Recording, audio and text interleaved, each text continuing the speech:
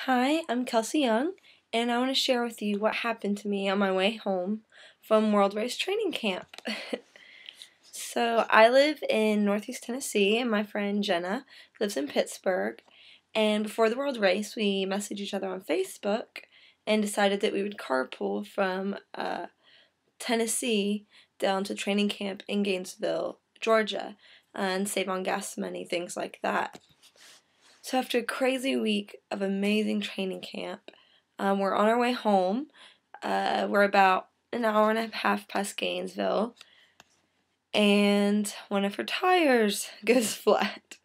So we're on the side of the interstate trying to figure out what to do um, because we both we've seen people change tires, we've been taught how to, but until you do it yourself, uh, we were kind of at a loss to be honest. But we get all the stuff out of the trunk, ready to go. Uh, we're gonna do this, and we get to the tire and we start trying just to get the um, nuts off, and we realize that even if we knew how to do this properly, we are not strong enough to do it. And so we just sit a moment and we pray because not not only do we need help with this, but we're two girls on the side of a very busy interstate where it is not safe, not only because cars could hit you, but because we're two girls and we're alone. So we pray for protection, and Jenna specifically prays that a Christian family will come and help us, that not just anybody will, um, because we were two girls alone, but that a Christian family would stop and help us. And afterwards, I called the police department just to let them know that were there on the side of the road and just see if they knew someone that could help. So we sit for a minute, kind of fig- trying to figure out what to do, and I swear, not even probably three minutes after we said our prayer, uh, a car pulls off right in front of us to help, and I look and I see that it's an uh, older couple, a lady and a man, and a man. And I was immediately relieved to see that um, it was just a couple together, and they walk they walk towards us and say, Hey, what's up? Like, can we do anything to help? And we said, Yeah. And we explain the situation, and he gets to work on it. And we start talking to um, his wife. And it ends up that he's a dean at the college right there um, nearby, the Christian Ministry College. And he's a pastor of a church. And so right away, it was like, I was just amazed because not only did we have someone help us, but it was a couple. So they're working on it, and he's he cannot get it off. And then the police arrive maybe 20 minutes later, and so we had the officer come, and he tries to get it off, and he can't. And so we're looking at manuals, and they're calling people, and we're calling people, trying to figure out if there's something different we should do for this type of car, because the bolts just will not come off no matter what we do.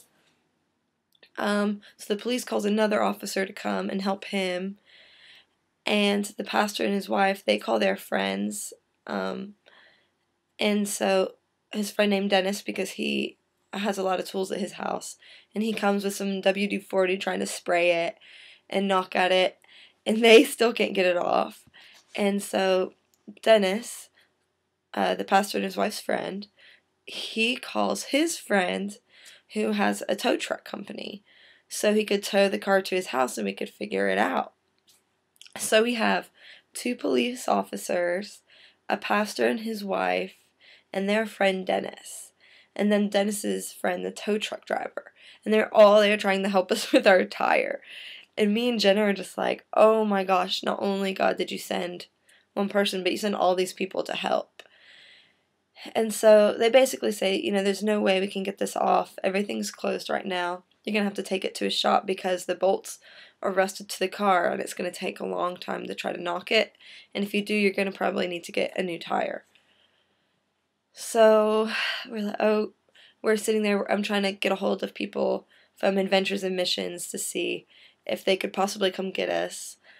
And we're trying to figure it out because they are so far behind. It's like an hour, and we're trying to go the opposite direction of where Adventures in Missions is. And Dennis, the pastor and his friend, he calls his wife and gets the okay, and he offers uh, me and Jenna a place to stay for the night. He says we have extra rooms. You're welcome to come stay, and uh, you know, we'll take care of you for the night. And, you know, we're a little apprehensive because we didn't know him until just then, but, you know, I kind of walked away and quiet to myself, you know, said a prayer and asked God if it was safe. And I just, I really just had a peace about it. And I asked Jenna if she was comfortable with it, and it was the same way. So this man is kind enough to get our car towed to his house, and they offer to pay for it, um, for the towing and everything. And we get there, and the pastor and his wife come just to make sure we're comfortable and feel safe and walk in with us. And Dennis and his wife are so kind. They gave us uh, juice and fresh grown fruit, and whatever they had, they offered it. They sat and we shared stories that night. Um, the next morning, uh, well, we go downstairs, and so we haven't slept in a bed all week because we've been at training camp. We've been sleeping on tent floors and buses and crazy stuff and we show up at this house and we both had a full bed to ourselves. I had a whole entire room with a king bed in it. And I was just like, God, like, you know, if we would drove home, it would have been all night. And it's like you took this thing that could have been awful and made it a blessing. Not only, you know, did we get help, but we're not driving all night and arriving home tired. We're getting to rest for a night in this beautiful home with this wonderful couple who's just showing us so much love and we get a room to ourselves and time to relax in our own shower. And in the morning, they cook us breakfast and they offer to take us to church that morning. And we go and we meet their church family. And they, the church is so happy to hear our story. And we got to share with them what God's doing in our lives and what He did for us, that miracle that night. And they, after that, they took us to a Thai restaurant and fed us lunch and gave us a bag of fruit to take home and drive home with.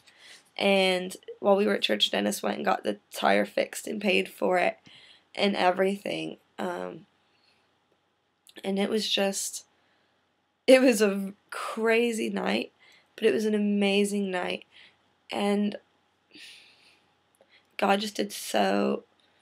Not only did He answer a prayer and have someone stop, but He did more than that. He he gave us a new family and friends that we'll have forever.